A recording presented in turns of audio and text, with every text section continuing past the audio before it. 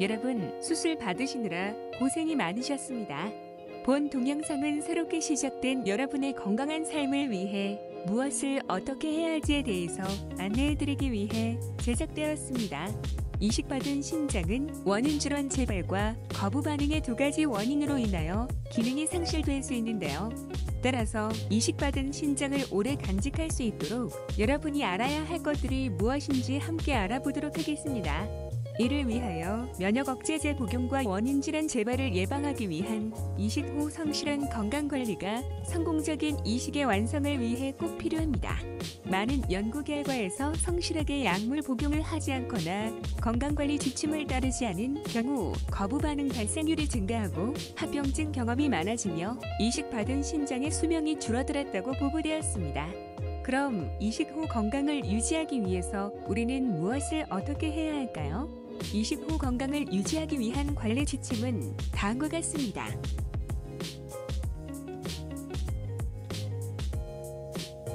첫 번째로 면역 억제제를 잘 알고 잘 복용을 하셔야 합니다. 이식 후 규칙적인 면역 억제제 복용은 굉장히 중요합니다. 정해진 시간에 정해진 용량의 약을 잘 복용하시기 바랍니다. 절대 임의로 약을 끊거나 이식팀으로부터 확인받지 않은 약을 새롭게 복용하지는 않습니다. 만약 실수로 약 복용을 잃어버린 경우 생각난 즉시 복용하되 복용 시간이 6시간이 지났다면 다시 복용하지는 않습니다. 정해진 용량의 두 배 용량을 한꺼번에 복용하지도 않습니다. 면역 억제제의 적절한 혈중 농도 유지가 중요하기 때문에 정기적인 혈액 검사가 필요하고 자몽이나 자몽 주스는 피하셔야 합니다. 반드시 기억하실 것은 약은 정해진 시간에 정확한 용량을 복용하시고 임의로 다른 약이나 건강식품을 복용하시면 안 됩니다.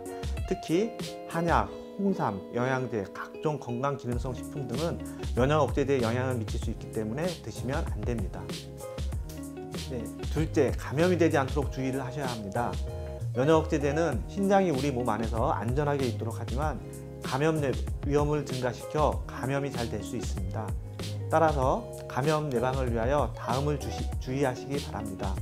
먼저 손을 자주 씻고 가글을 규칙적으로 하셔야 합니다.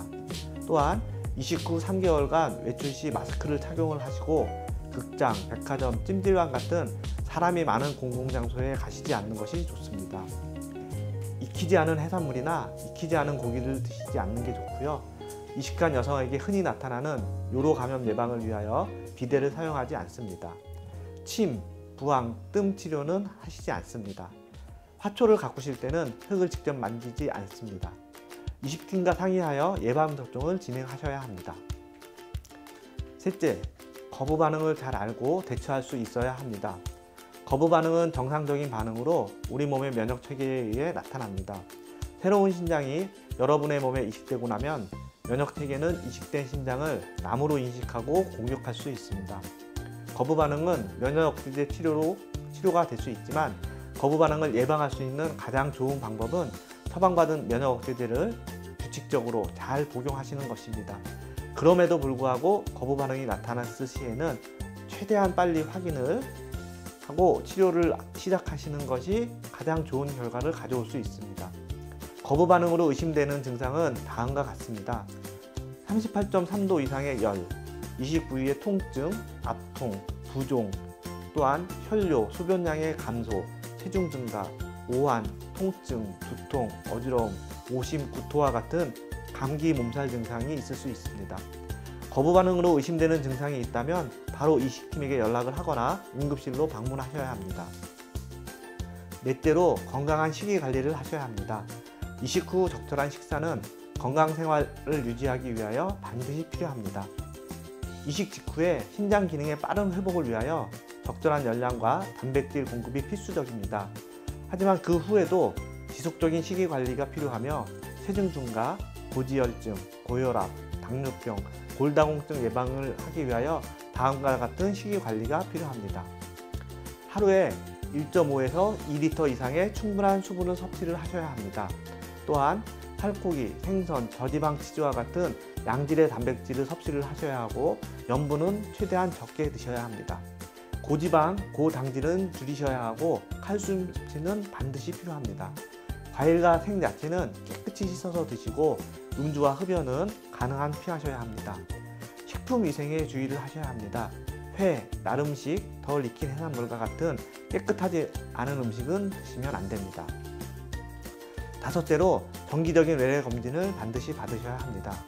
정기 검진은 꼭 오셔야 합니다. 정기 검진 시 혈액 검사를 통해 거부 반응 발생 여부와 면역 억제제의 혈중 농도를 확인하시게 됩니다. 다음에 외래 방문 후 절차에 따라 방문해 주시기 바랍니다. 여섯째, 기타 일상생활 시 주의점을 잘 알고 계셔야 합니다. 직장과 학교는 수술 후 3개월 이후에 복귀가 가능합니다. 부부 생활은 수술 후 몸이 회복되시면 가능합니다. 하지만 부부 생활 시 감염 예방과 피임을 하시는 것이 중요합니다. 만약 자녀 계획이 있을 시 반드시 의사와 임신 계획을 먼저 상의하셔야 합니다. 외출하실 때는 피부암 예방을 위하여 자외선 차단 선크림, 긴팔, 모자를 착용하시는 것이 좋습니다. 이식 후 운동은 천천히 시작하시되 꾸준히 하시기 바랍니다. 이식 후 6에서 8주 후에 모든 운동을 하실 수 있습니다. 하지만 이식 신장 부위에 충격이 가해질 수 있는 운동은 되도록 피하셔야 합니다. 운동 시 가슴의 통증, 호흡곤란, 메스꺼움, 빠른 맥박수 또는 어지러운 증상이 나타나시면 운동을 바로 중단하셔야 합니다. 또한 탈수 예방을 위하여 운동 시에는 물을 충분히 마시도록 합니다. 여행을 하실 계획이 있으실 때는 미리 의료진에게 상의를 하시기 바라며 복용하던 약이 충분한지를 확인하셔야 합니다. 외국으로 여행하실 경우에는 미리 담당 의사와 상의하여 여행지의 풍토병에 대한 예방접종을 시행하여야 합니다. 애완동물은 가능한 안 키우시는 것이 좋으며 키우게 되시는 경우에는 예방접종을 철저히 하셔야 합니다. 어항이나 새집, 고양이 화장실 등을 환자분이 직접 청소하시지 않는 것이 좋습니다. 또한 고혈압, 당뇨, 고지혈증, 암, 골다공증, 백내장과 같은 합병증 예방을 위하여 규칙적으로 혈압 및 체중 관리가 필요하고 금연, 금주, 규칙적인 운동을 시행을 하셔야 합니다. 특히 암의 조기 발견을 위하여 암 정기 검진을 시행하시고 안과 및 치과의 정기 검진도 반드시 필요합니다. 이상 설명드린 건강관리 방법을 잘 숙지하셔서 지키시기 바라며 건강한 삶을 기원합니다. 여러분의 새로운 삶이 시작됨을 축하드립니다.